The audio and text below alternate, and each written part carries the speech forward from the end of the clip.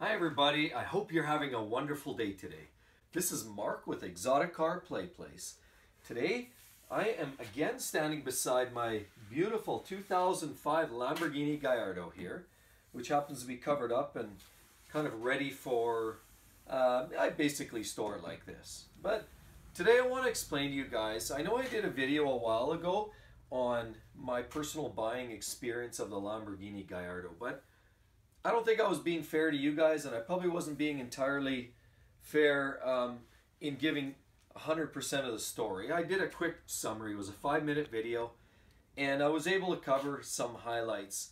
But today, guys, I really want to explain to you how I bought the Lamborghini Gallardo.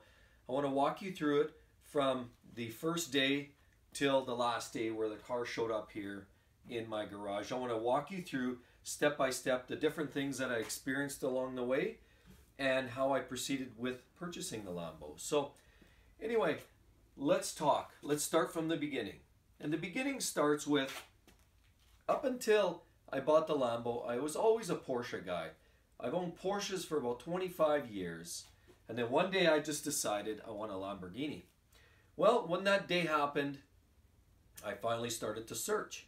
Well, of course, up to that time, there's always when you're you're not looking for something, you know how it works. When you're not looking for something, or you know the old adage, when you're not looking for love, it's easy to find. But you know, anyway. But what it is is what I'm trying to say is there was lots of these, or I what I perceived as lots of these around. You'd see them driving around, see some for sale, and then when it came time for me to make the plunge, I couldn't find any, or I had difficulty. I'd find one in a classified ad I'd call about it, and then it's gone. I'd find another one in a classified. Well, turns out that one was expired, that classified ad. Then I'd call about another one, gone. Or I'd call about another one and I couldn't get a hold of the guy, or it was some creepy story and it happened to live across the country, so I couldn't really check into it too well. So I had a lot of hurdles. It actually felt like I was starting to wonder if this car was not for me. I actually had a lot of uphill battles getting to the point where I actually found some cars that I decided to actually take a closer look at. One of which, of course, you guys all know I live here in Alberta, here up in Canada, and I live in one of the I live in the capital city here, of course, and there weren't many cars for sale here. Of course, when you're looking for Lambos and Ferraris, you have to spread your wings out a little bit, and that's what I did. So I took a trip one day to British Columbia, our neighboring province, but well, it's called province here in Canada, so we'll go with that. Anyway, so I took a vacation to British Columbia, and while I was on vacation, I decided to look around for some Lamborghinis. Well, when I did that, I stumbled across a couple of them. And I actually, this one in particular, like up to this point, before I bought this car, I had looked at a few other ones. I came across a black one in the other major city here in Alberta. The car was rough. Like it was, I mean, you can't go wrong with a black Lamborghini, but the point of it was there was things missing, there was parts that were broken, and the car really looked kind of abused. It wasn't really taken care of. So I went for a drive. I enjoyed the experience, but I really knew that wasn't the car for me. Then I came across a blue one. The miles were a little higher. I knew historically I had heard through the grapevine that it had issues, and so I kind of passed on that one. Then I saw another one, a yellow manual and I kind of passed on that and I really thinking about it maybe I should have looked a little closer at that but it was across the country and the price was right. But the problem with that was of course transporting it and I was getting close to the end of the year so it was becoming a bit of a problem considering how do we get that across the country. So I kind of thought well I'll keep my eyes open here in Western Canada. So I did that and again on that trip to BC I came across this car this white one. Well I knew White, you'll see lots of white ones in the LP cars. You don't see a lot of white ones in the pre-LP cars like this, like an 04, 5, 6, 7, 8 model years. And so I came across this white one. It wasn't necessarily the color I was looking for, but I knew white is not that common either. I thought it would be cool to have a white car like this. So, that being said, I went to BC. I went, I came across this, and actually how I actually discovered this, I might as well back this up for a second. How I discovered the car was on Craigslist. And a lot of you guys probably are aware, Craigslist seems to have a bad reputation these days for you know, having creepy people lurking on Craigslist looking for the victims, the little victim there that they can pounce on and take advantage of. There's a lot of bad stories I'm hearing. I saw this car on Craigslist. And when I called about it, I found it from this gentleman who just recently acquired it through some kind of a shady business deal, is what I understand. Now, that in itself kind of scared me off a little bit. And speaking with the guy on the phone, he actually sounded a little bit like, uh, I don't know, I got the sense he was kind of into uh, diverse business opportunities. He didn't seem to know a lot about it. He bought the, or he acquired the car a couple months prior and he was trying to flip it quickly. So the car was actually listed at that time for $110,000, Canadian dollars, of course. And which I mean actually was was reasonable at that time because most of them were ranging from that 100,000 to about 120,000, 125,000 for an 05 like this with the similar case. But any, I ended up coming across this car, had the right mileage. He was asking 110, but the problem was he didn't have a lot of history on it. He had no service records or very little. So I decided to take a leap of faith. I went down to visit the guy. Now this gentleman, he lived, in my opinion, in one of the most desirable places in Canada. He lived in the Okanagan, which is, it, it's, it's full of lakes and mountains and the summer seasons are very long there. And he lived waterfront. So it was a beautiful place to visit. But when we when I had a look at the car initially, I walked up to it, I thought, wow, this car really stood out to me. I love it. First impression was really good. But when I talked to the guy, he was kind of telling me some of the stories, and I won't kind of shed a lot of light on that. But some of the stories he was he, he was telling me were a little bit kind of questionable. And uh, the first thing he said, "Let's go for a drive." I'm like, "Okay, I'm in. Let's go for a drive." So I jump in the passenger seat. He takes over the wheel, and we go driving up through the neighborhood. And where, if if you've ever been up there, these are like the vineyards. So this is kind of like grape and wine territory here in Canada. And so there's a lot of vineyards. There's a lot of really narrow roads with high uh, grapevines and bush and stuff that go right up tight to the road. And there's not a lot of road space there. But what he ended up doing was he took me through a drive up the hills through some of the vineyard area and hit a straightaway and he's on it first second third and at this point i'm ready to panic i'm ready to jump out i said in my comment to him was i came to look at a car today i didn't come here to die actually so he, he still didn't catch on to my drift he just kept going going going was, i don't know if he was trying to impress me to be honest i'm not impressed i didn't necessarily want to be buried in the car that day so um, he did. We went for a hard drive, and then we basically cycled around, wound up back at his house. After that, he started getting quite pushy, kind of not unlike a Ford salesman, where you know they pounce on you in all kinds of all sorts of aggression. He came at me aggressively with, "So you ready to buy it? What is it going to take? What are your thoughts? Are you here to deal or are you not? Or are you wasting my time?" And he actually started coming on strong and then passive aggressive and he was back and forth trying to be very intimidating and then aggressive at the same time and I didn't got a little freaked out. So we went and had some chats in his office. He had an office that was part of his home. He was working out of the house.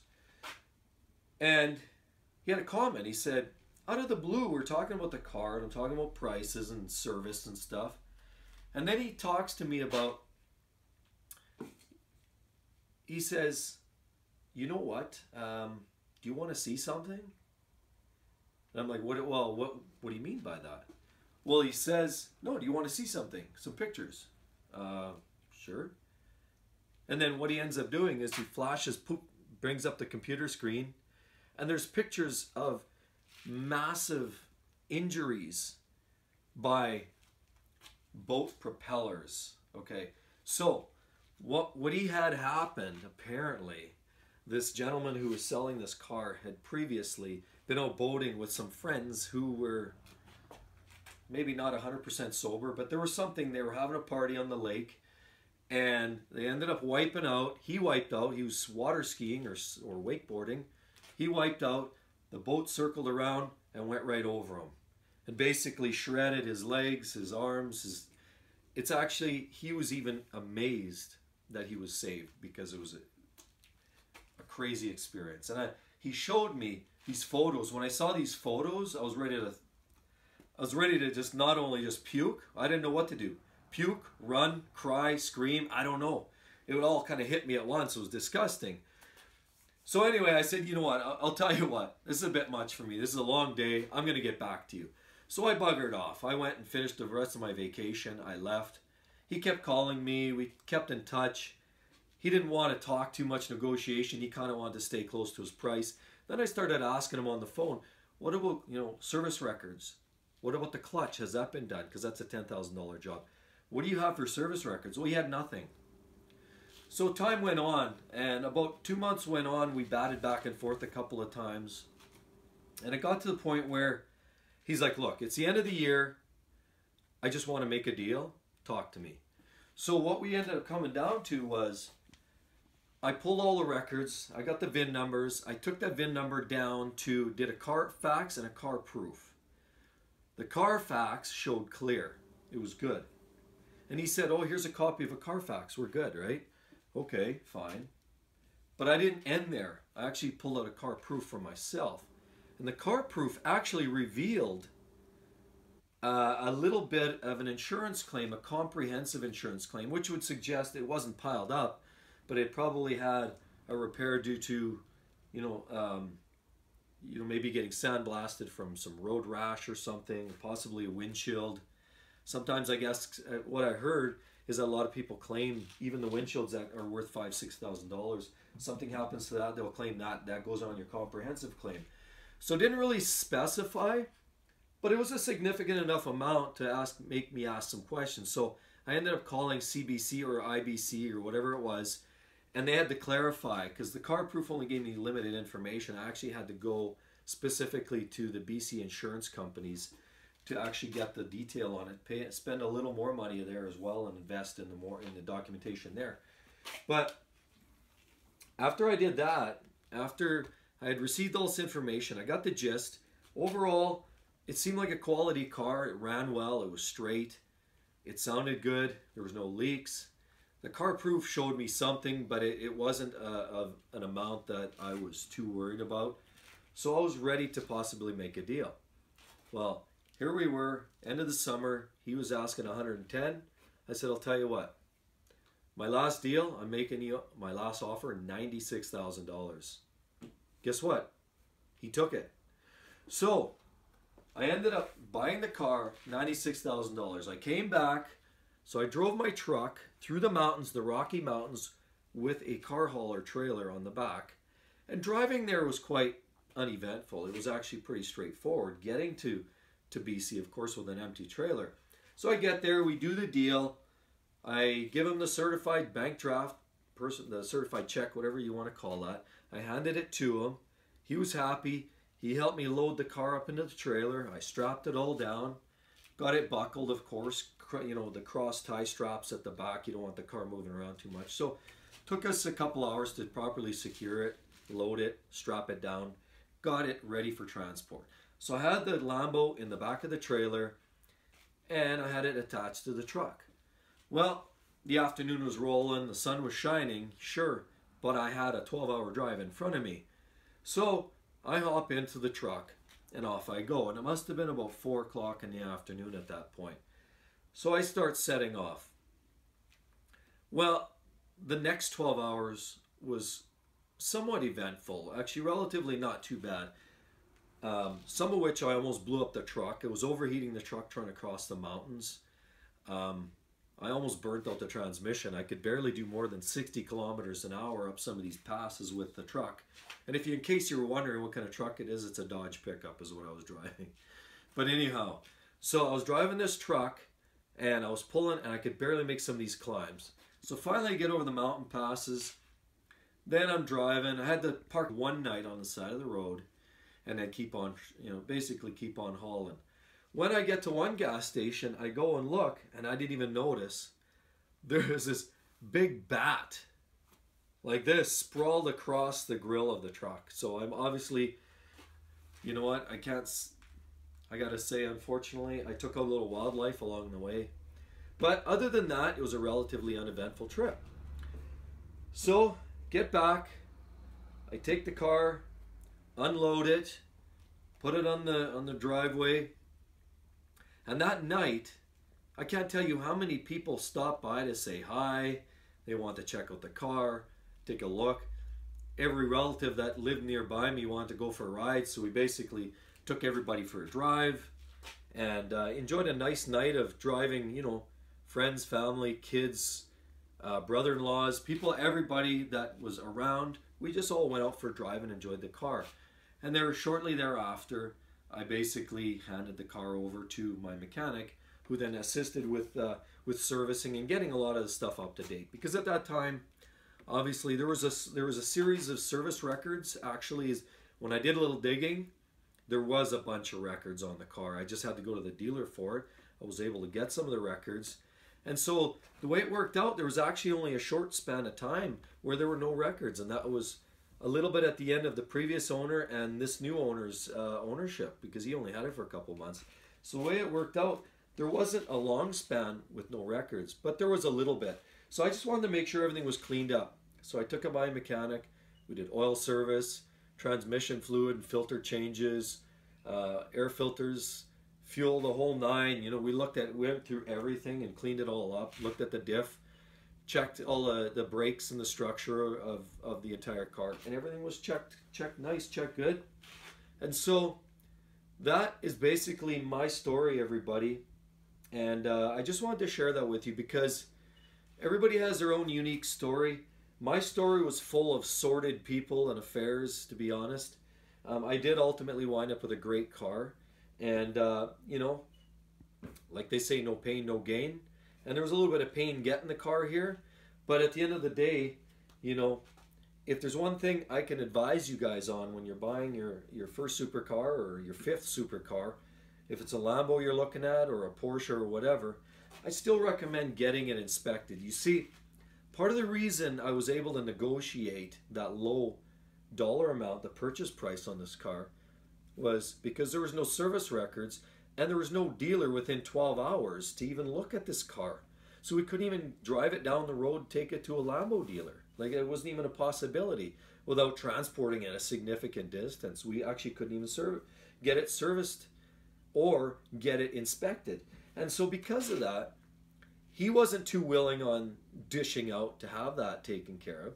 At the same time, I said to him, I said, look, you know, I'm going on uh, on a limb here, but to be honest, I don't know what this car is about. I don't know if the clutch is ready to go. I don't know if the brakes are gone or if there's a, a leak or something more substantial here. I'm going on a big, big gamble here.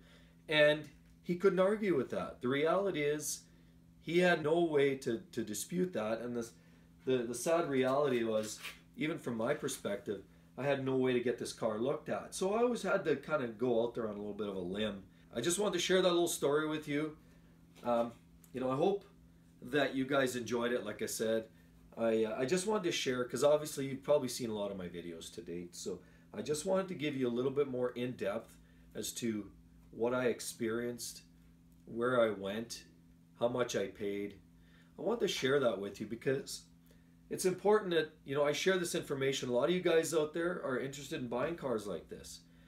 And you know, sometimes you wonder, is it is it a gamble? You know, is it a risk buying a supercar? It doesn't have to be a risk. If you do all your inspections and you do your checks on it, it doesn't have to be a risk. It can actually be a very enjoyable experience. As a matter of fact, I think a big part of the whole experience is the hunt. I think that's that's one of the most fun parts is searching for the car. Once you own it, it's great for sure. But the search for one, finding it, driving, looking at different cars, that's actually a whole lot of fun. So again, everybody, I hope you did enjoy the video. I just wanted to share with you my experience, which was very colorful to say the least. Uh, it wasn't your, you know, traditional dealership experience where you walk in, yeah, I like it, take a drive and sign the check and off you go. That would be ideal. Mine was a little bit more sordid. But anyway, if you, if you like the video, please do make sure you subscribe below, guys. Like, comment, and don't forget to turn on those notifications because if you don't, you may not see my next video when it pops up. But again, please do make sure you come back for the next one, subscribe, and we'll talk to you real soon. Okay, bye-bye.